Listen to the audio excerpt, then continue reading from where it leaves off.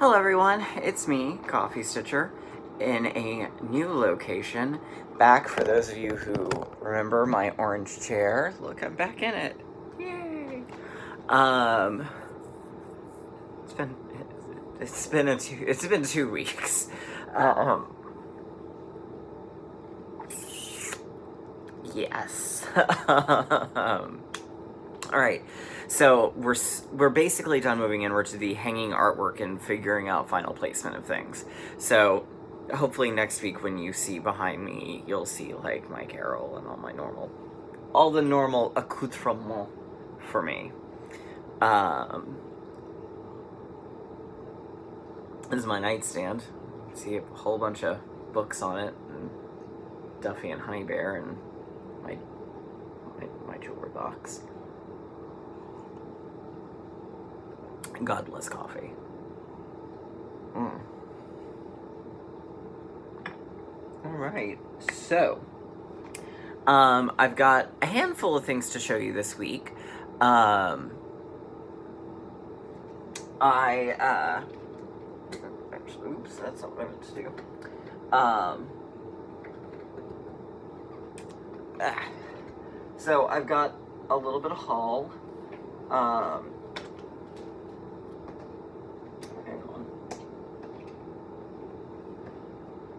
Sorry, this is so. I'm so scattered right now, y'all. I'm still getting getting readjusted to everything and trying to figure out placement of things. Okay, there we go. All right, let's do this, yo. Um, so I've got some haul. I've got some FFOs to show. Some I couldn't remember if I'd shown them already or not, um, but since they're not currently on walls and I can access them, you're seeing them now. One of them I know you haven't, unless you are on Instagram than you have, but there you go. Um, I've got a new start planned that I'll show you. Um, I did get a little stitching done before the move. I got barely any during the move, um, and I've gotten to start back so far. So, um, and I think there's a little bit of, of Q&A. So, um, we'll dive right into that. And, uh, yeah, cheers. All right, so um, Patty Ernest, uh, what's up? I don't know if that's what you meant, but by putting the Z there, I immediately flash back to the 90s of what's up? Um, she needs some info. Who am I getting my Kreinik packs from? Uh, from Three Owl Threads on Facebook. It's part of the Nest Egg. She is currently on vacation, so she's not logging orders at the moment. Um, but it's Trisha. She actually just did a video about the nest eggs. So hop on over to her floss tube channel, 3 Owl Threads, and uh, check it out. Um, but to put a link would be a little difficult because of the whole Facebook being weird thing. But it's on Facebook, and it's 3 Owl Threads. Uh, Tegan B, that's really cool. Um, the and then to answer your question how do i count the stitches that i put in a piece at a time? If it's a paper pattern that i'm marking off uh, then i count as i mark through stitches. And every hundred or whatever the usually at 100 is when i will switch but i'll switch colors at that point. And that's how i keep track of it. Um, if it's a digital pattern then i count it and i write it down i put it whatever, like, when I get a segment done, I'll count how many there are, and I'll put that in my calculator. Then when I do the next segment, I'll go back and add it again, add to it. It's the only way I've found to do that. Um, Robert Percenter, um, thank you. Well, thanks everyone for the well wishes with the move. Um, and awesome. I hope you'll let us know what your well, if you're in face on in Stitchmania, definitely post there. But if you're on Instagram, let us know. Um, Jasmine Ravenclaw asks, um, since you have a villain shirt, who is your favorite Disney villain and why? Uh, Ursula. Hands down, Ursula. Um, close seconds, Maleficent. Yzma.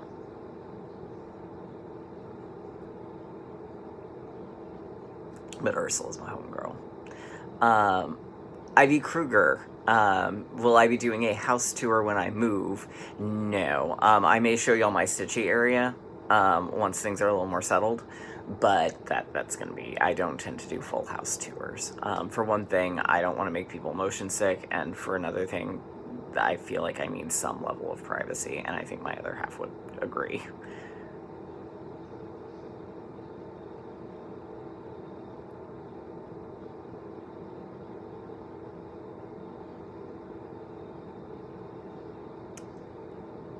Let's see.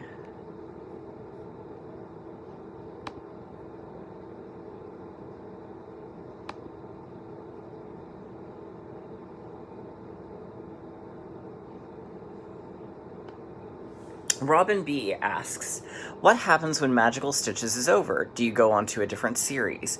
And I believe the answer is yes, we go on to a different series. They've been taking suggestions and recommendations.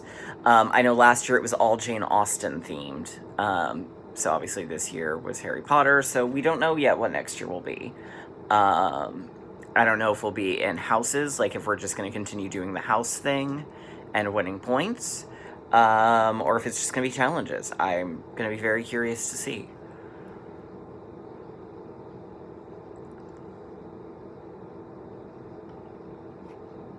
And I think that's it for the Q and the A. All right, so let's talk about haul. So I got my usual shipment from from 3 Owl Threads. I got my um, uh, uh, okay, got my my nest egg. Doop. Okay, so I got my four Kreiniks. I'm not really sure. I one of them I think is an is a brown, but I got four Kreiniks. That one I'm pretty sure is blue merengue, but don't quote me on that. That's an orange one, and this I think is cat's eye, maybe, or I don't know, or it might be Brazilianite. Ta-da! But they're beautiful, regardless. Okay.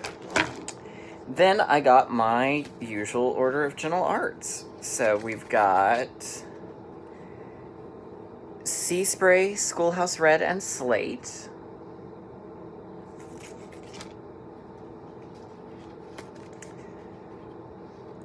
Something Blue, Shutter Green, and Pomegranate.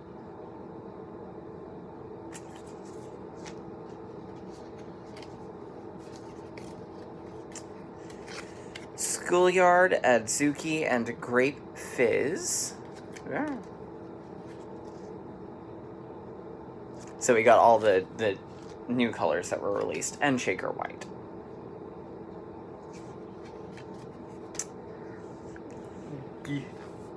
Ah. So, as always, appreciative of the wonderful Trisha.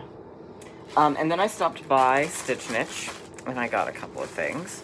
I got this piece of fabric that I thought I was going to use for a project, but I decided I want to use I on a different color fabric. So I don't know what I'll use it for, but it's Desert Stone um, Jobelan from Wichelt. Like I said, not sure what I'll use it for, but I'm sure at some point I will. Uh, and then most of what I got was patterny things. I got this year's Just Cross Stitch Halloween magazine. Um, and there are several in here that I really like. Um, one of my favorite ones, though, is ah, Tunnel of Trees with the trick-or-treaters, one of which is Dorothy. Um, I also really like... There are several of the smalls that I actually really liked, but I really like the Nevermore bird here. So, I got that. I got the next two patterns that were available in the Words to Live By. So, keep your face to the sunshine and you cannot see a shadow. And you can't direct the wind, but you can adjust the sails.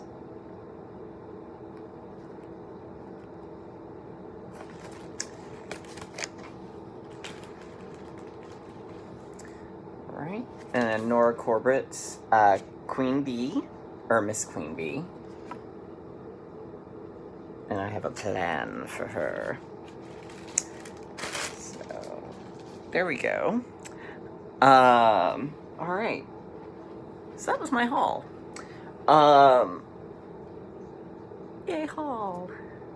Um, alright, so moving along to, uh, the FFOs. So several people had asked about my favorite finish, and it is the Rocky Horror one. You're getting all sorts of glare and reflection. It was not supposed to have glass. This was done um, at Michael's with one of their just ready-to-go frames. Um, back when Stitch Niche didn't have a framer. It was right after Kathy had passed away, and then I think her husband passed not too terrible long after that either. Um, so this was the a birthday present for G2. Um, so, and Leslie of Under the Sea Fabrics helped me get the, the mat for it. So, there we go. Uh, yeah, and I basically, and um, it's the Clouds Factory design, but what I did was I went, there's a website called the Anal Retentive Costume for Harry, or for Rocky Horror.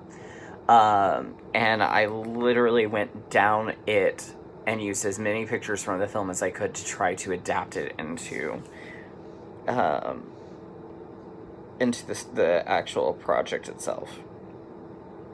So, um, like for instance, to give them their pale makeupy faces, Frank, Magenta, and Columbia were both stitched with blended threads.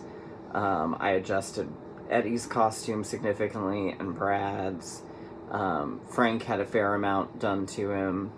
Um, Rocky has little French knot nipples. So, uh, there's that. And then, um, again, I don't remember if I showed y'all the FFOs of these, but the Tammy designs from Brooke's Books. So, Autumn Tammy. And I got these frames at Ikea. Winter Tammy.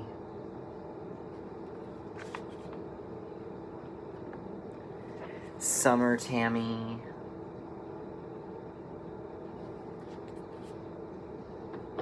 And Spring Tammy.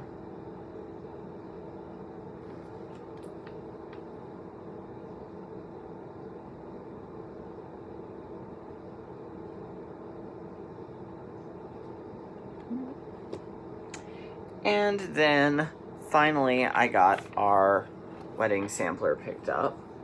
So here it is all nice and framed. There's my, there's the detail on the frame, which I liked because it sort of gave the filigree like you see on really old books. Um, so there we go. So that's finally been picked up. All right, so things that I have worked on. Um, the, before we did the move, I did get a page finish on Cheshire Moon. Um, and a couple of you have seen how I'm planning to finish this because I couldn't resist going ahead and taking a picture. So, but here's where I'm at. I've got two pages left. So we are getting there. I really love how this one's turning out. So it's by Tempting Tangles. Um, and I do believe the pattern... I mean, you can get it on Etsy. I don't know for sure if she released them through Creative Poppy or not. I don't remember. I know some of them are available through Creative Poppy and some of them aren't.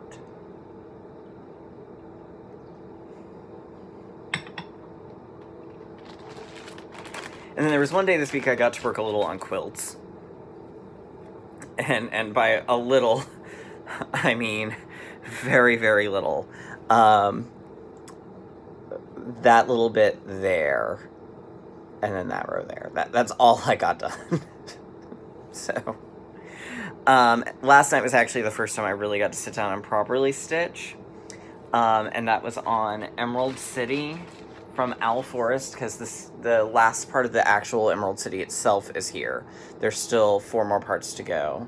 So I got that part done. Um, I'm almost out of both Kreiniks. I did buy another mint julep, but I didn't buy another green because I didn't have it. So um, I'm going to pause on this one for a little bit, order a spool of the um, the green, um, and then go from there. Um, uh, and then the new start is going to be one that a lot of you have probably seen. It's the Universal Monsters Sal from Witchy Stitcher. Um, and I'm going to be doing it on Nessie from Under the Sea Fabrics and orienting it this way. Um, that way the one, the one of the lighter sections is where um, the creature of the Black Lagoon will be. Because I was a little worried about losing the water um, there, but with that one slightly lighter patch, I should be okay. Um, so I'm looking forward to starting that. Because um, I feel like that's my reward for this move. This was a this was a move. Um, anyhow, that is about it for me today. Um, the homework this week in Magical Stitches is um, a thousand stitches on a project that makes us want to quit. Um, so I will most likely be working on Paradise Lost because of that damn cloud and that damn banner. So um, I'm gonna work on those. Uh, yeah. Uh, so I'll work. What I decide I'm gonna do is um, I'll alternate between the two projects. So, and I don't honestly think I may sit down today and get the first room of Universal Monsters done. So that may be a thing that happens. Um, we shall see. And if so, then I'll just be focusing, trying to focus between Emerald City and Paradise. So, um, if there were a thousand stitches left in Emerald City, then this green makes me want, the metallic makes me want to give it up. But I'm so close. And then once that's done, there's really not going to be a whole lot of metallic left. Um, there'll probably be a little for Glinda, but I don't expect there will be any in the Wicked Witch. Unless the Golden Cap is present. But we'll see. So, anyhow, um, that's it for me. I will see y'all next week. Of course, always drop the Q&A, because I love the Q&A. I'll see y'all next time.